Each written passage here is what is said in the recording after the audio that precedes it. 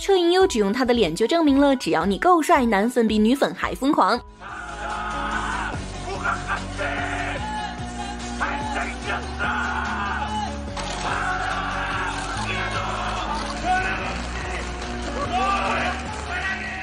个曾经让程潇都不敢对视的男人，让颜值圈有了新的名词——脸蛋天才。只要穿上西装，车银优就完美演绎了什么是小说照进现实。从出生就拥有晋江男主顶级配置的车银优，从小就因为长得好看占了不少便宜。他在节目中透露，以前去吃饭时，老板娘会主动给他免单或者送小礼物。步入校园后，车银优成了风靡全校的神级人物。这一殊荣不仅是因为他的颜值，更得益于他优异的成绩。据悉，车银优上学时考。过最差的一次是全校第二十名，成绩都是常年排在全校前三，还得过全国奥数比赛季军。而他的班长宝座也从小学连任到了高中。钢琴、小提琴这种捕获少女心的技能也是直接拉满。而他曾经的梦想就是考入第一学府，成为一个正直的检察官。所以说，《女神降临》里的车银优是本色出演都不为过。十五岁那年的车银优因参加学校庆典被星探一眼相中，对方见他逆天的颜值，大有不签下他誓不罢。罢休的意思，但此时的车银优心里还装着检察官梦，对星探描绘的花路没有一点想法。像所有的冰山校草一样，他礼貌而又疏离的拒绝了，随后留下一个潇洒的背影。接下来的日子，车银优按部就班的考上了理想的高中，谁知那位星探一路追到了他家门口，还想煽动他的父母一起来劝说。在星探隔三差五的攻势下，父母妥协了，他们同意让车银优先去试试看。车银优就这样被连拖带拉的拽进娱乐圈，而曾。曾经有个专爱拍爱豆丑照的博主，在跟了车银优一个月后，直接发帖道歉，因他竟然拍不到车银优丑照，可想而知车银优的脸蛋是怎样的惊为天人了。韩娱一直有句话，不论你喜欢的是谁，你的墙头里一定有车银优，这句话一点也不夸张。在这个时代，素颜几乎成了艺人不可逃脱的考验。但在前段时间，车银优因为在 Vlog 里公开了素颜，面对妆前妆后毫无差别的车银优，有哪个敢说不心动呢？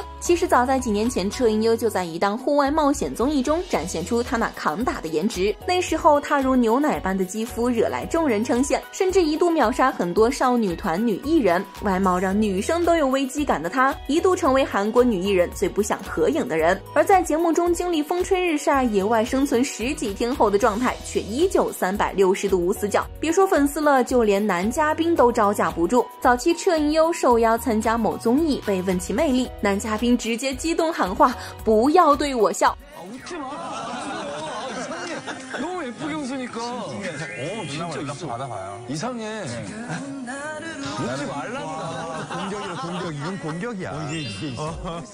更有节目本着科学的原则，直接上尺子测量他的五官，从长度、宽度等多方位测量后的结果就是车银优的脸就是黄金比例。总之，在韩国人的眼里，这是一张学术派和非学术派都认证的门面担当，真不愧是韩国男团司马男的代表人物之一。但车银优从来都不只是靠脸吃饭。二零一七年，车银优为了给组合打响名号，利用公司的影视资源接拍了爆款神剧《我的 ID 是江南美人》中的学霸男主。成功让他火遍中日韩，彼时 Astro 才在众多男团中脱颖而出，而车银优也走上一人奶全团的不归路。据统计，从一八年到二零年，Astro 三年的收入达到了八十九亿，而车银优一人就贡献了六十四亿的成绩。由此可见，这个门面担当有多重要。但车银优真的没有一点缺点吗？一家四口，车银优最丑，这是车银优妈妈常说的话。 저희 어머니께서도 하시는 말씀이 넌 약간 못생겼어 넌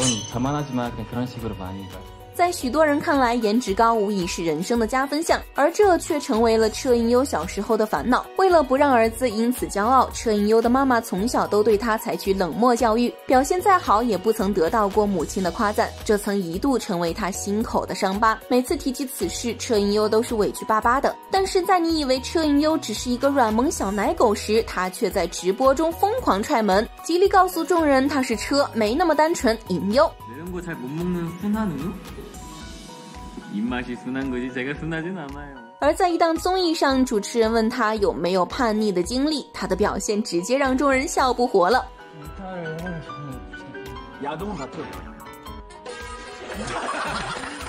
的确是从小到大的乖孩子啊，连谎都不会撒，直接脸红可还行。主持人在看到车银优的反应，只好也露出了原来如此的表情，在和粉丝连麦时也是极具诱惑。